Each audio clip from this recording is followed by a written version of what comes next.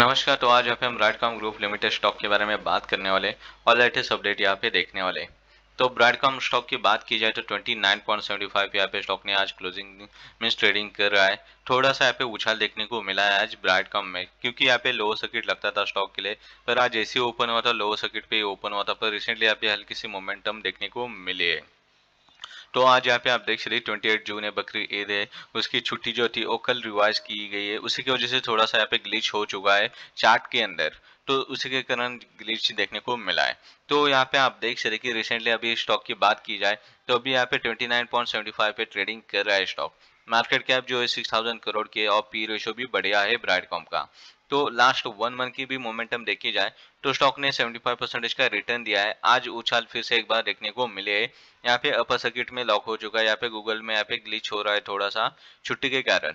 तो उसी के कारण यहाँ पे आप देख सकते हैं, आज अपर सर्किट तो लग चुका है स्टॉक के लिए फाइव परसेंटेज का। जैसे ओपन हुआ है, क्योंकि यहाँ पे नीचे के आया था, हमने बात भी की थी परसों के दिन, कहाँ पे सपोर्ट ले सकता है स्टॉक तो हमने बात की थी कि 200 मूविंग एवरेज पे सपोर्ट लेने के चांसेस बन सकती है और वहीं पे सपोर्ट लेके स्टॉक बाउंस बैक हो चुका है। तो फिर से यहाँ पे 30 लेवल को जो है ब्रेक होना चाहिए, क्योंकि वॉल्यूम तो अच्छा नज़र आ रहा है आज कंटिन्यूस वॉल्यूम चाहिए, जो कि यहाँ पे 30 लेवल को एक पॉजिटिविटी के साथ ब्रेकआउट दे सकता है ऊपर के साइड तो ये थे लेटेस्ट अपडेट ब्राइटकॉम स्टॉक के लिए.